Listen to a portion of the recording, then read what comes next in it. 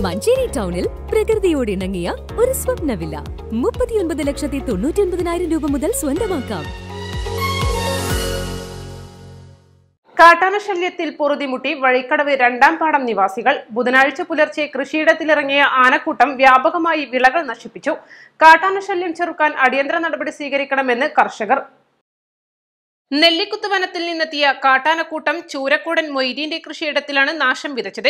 മൊയ്തീന്റെ തോട്ടത്തിലെ മുപ്പതോളം കായ്ഫലമുള്ള കമുങ്ങുകൾക്കു പുറമെ ഏതാനും തെങ്ങുകളും പ്ലാവും നശിപ്പിച്ചിട്ടുണ്ട്. വനാതിർത്തിയിൽ തകർന്നു കിടക്കുന്ന കിടങ്ങും പ്രവർത്തനരഹിതമായ സൗരോർജവേലിയും മറികടന്നാണ് കാട്ടാനകൾ ജനവാസ കേന്ദ്രത്തിലെത്തി കാർഷിക വിളകൾ നശിപ്പിക്കുന്നത്.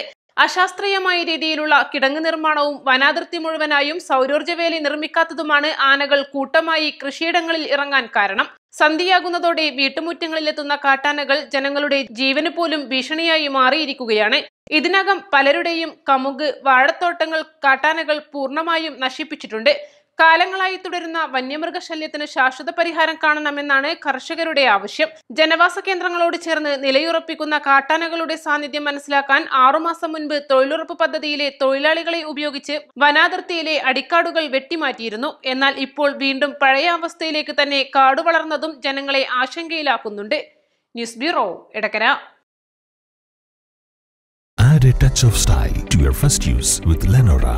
Years of perfect stitching experience. Lenora, linen, cotton